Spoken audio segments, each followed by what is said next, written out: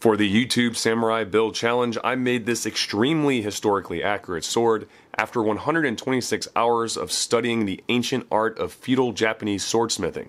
Contemporary bladesmiths have been trying to recreate period pieces like this one for years, but have missed some unexpected key elements that can only be incorporated after reading the recently discovered ancient text from the 8th and 9th centuries. While I am barred by ancient custom from verbally describing some of these lost techniques used in this video, I will be showing them in detail visually in the coming minutes. Now, if you think I got a small detail wrong here or there, please give me some direction in the comment section below. Also, if you love this build, feel free to let your imagination run wild and fake being an internet keyboard samurai for a day by giving me the funniest and most troll-like rebuke possible for the sword.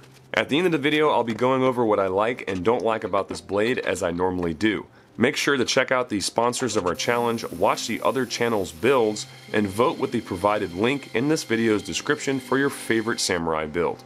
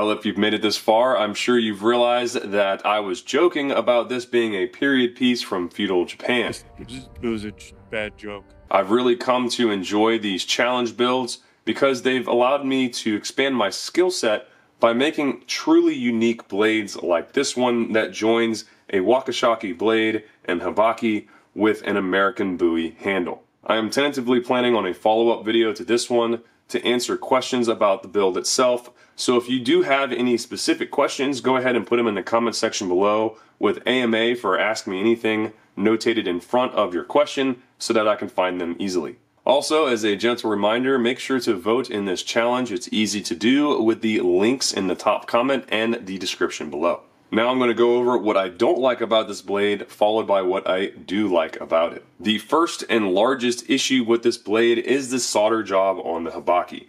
Now you can see here on the bottom that I have what looks like a void or a crack going along the entire length of the Habaki.